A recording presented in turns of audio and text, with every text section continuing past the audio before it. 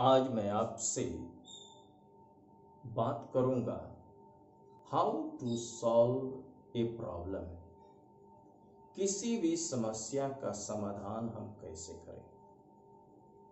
हम जानते हैं कि सबके जीवन में कोई ना कोई समस्या है या समस्याएँ हैं। तो मैं एक सिंपल सा तरीका बताऊँगा। जो आपकी समस्याओं का समाधान कर सकता है। सबसे पहले अपने आप से पूछें। आप पता करें कि समस्या क्या है।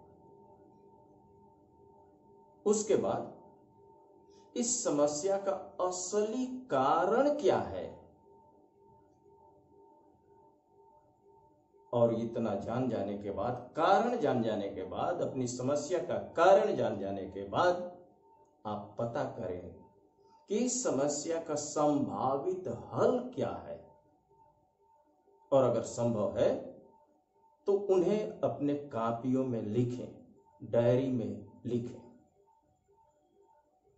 और अंत में, उन संभावित हल जो आप लिखे हैं उनमें से पता करें कि उत्तम हल क्या है।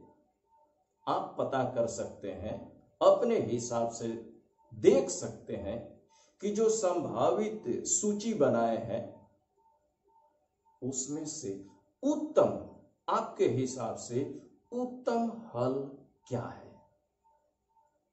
और इस प्रकार आपकी समस्या का समाधान हो सकता